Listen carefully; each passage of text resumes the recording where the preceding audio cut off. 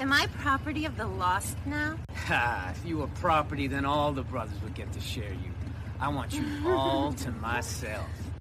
Get away from Mr. Faustin's daughter. Fuck you!